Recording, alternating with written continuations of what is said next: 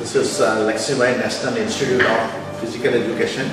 This is North-East Regional Center and our headquarters is based at Gwalior. That is called, that is also called Lakshmibai National Institute of Physical Education.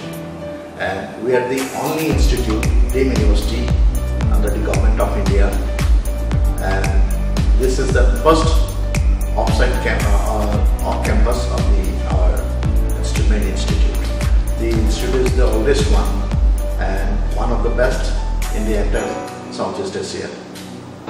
And it's to examination. They can be from any stream, arts, science, commerce, but eligibility to appear in the our uh, course entrance test, that is minimum 50%.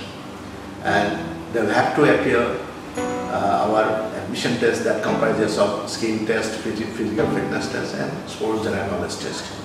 Then for the master degree also we have those who have completed BPA degree, they are eligible for the master degree.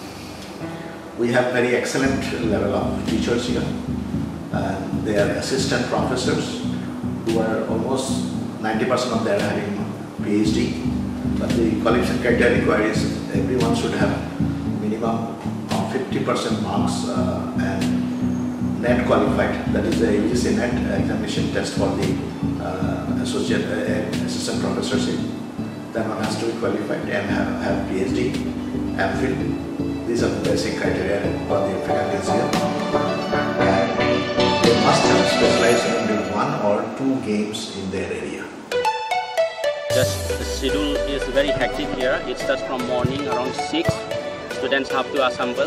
Then after the assembly, they will have to go for conditioning separately according to their games. And after finishing that, they'll have to go for two period of activity classes. The activity classes can be hockey, football, basketball, and uh, many other games. After completion of uh, morning activity, the students go for breakfast. And every day we have uh, three periods of uh, theory classes that starts from morning 10 and it finishes by 1. And again, the afternoon activity starts 4.30 and students uh, go for their respective games. They go, go and practice their own game. That's uh, how uh, the schedule over here